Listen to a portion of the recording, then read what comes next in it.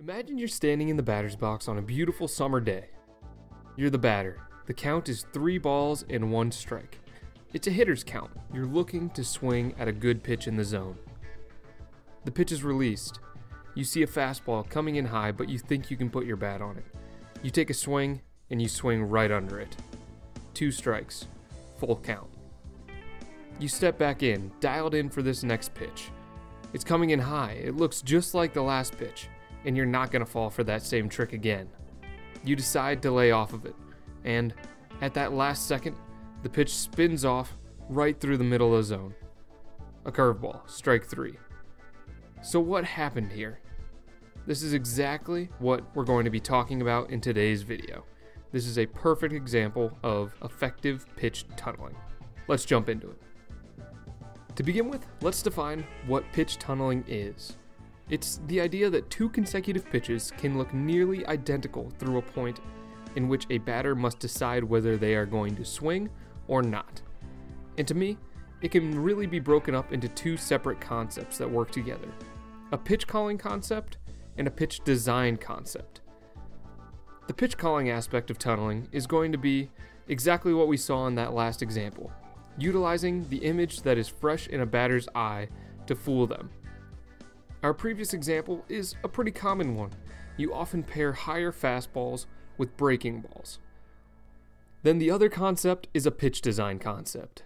This is making sure a pitcher replicates his motion through each one of his different pitches. To me, you can't do the first concept without mastering the second one.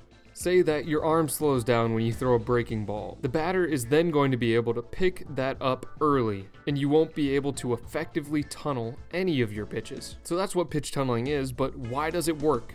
Let's dig into the math of the timing for each individual pitch. On average, the time it takes a ball traveling at 90 miles an hour to cross home plate from the pitcher's hand is about 400 milliseconds, or 4 thousandths of a second. That's pretty quick. And to put that into perspective, it takes you the exact same amount of time to blink. Going even further, it takes your brain about 100 milliseconds to process images.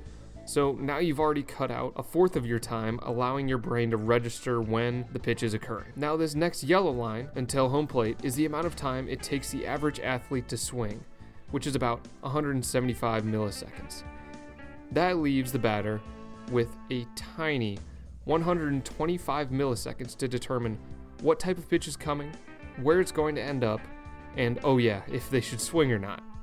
So, how does tunneling fit into all of this? Well, if you have two consecutive pitches that look identical through the circled point, and then one takes off to the outside part of the plate and the other to the inside, it's going to be nearly impossible for a batter to adjust.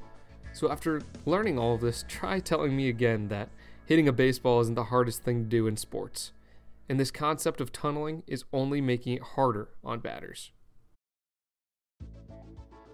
So if you liked today's video, please leave a like, click the video on the top right if you'd like to see more of my content, and subscribe for more weekly baseball animations posted every Tuesday.